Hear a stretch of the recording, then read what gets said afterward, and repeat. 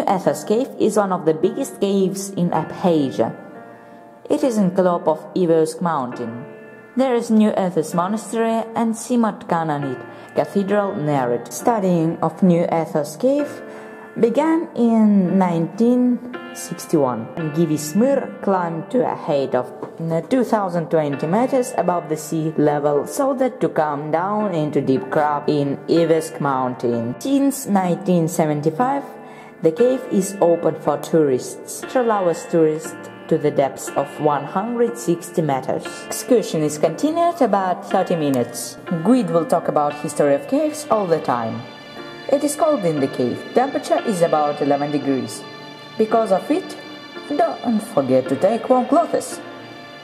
It is wet there. Don't forget to take suitable boots. There are nine halls, but six only can be visited. Scientific work is conducted in one of them.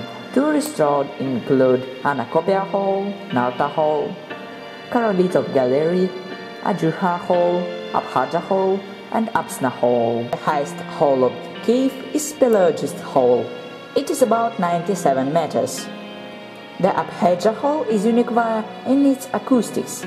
Choral couple sometimes leads concerts here. There are four entrances in New Athos Cave, and three of them are synthetic.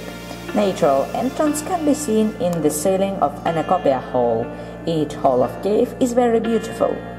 All stalactites and stalagmites are shiny. There is souvenir shop in the cave. You can buy pieces of stalactites and stalagmites and crystals and feel about the cave.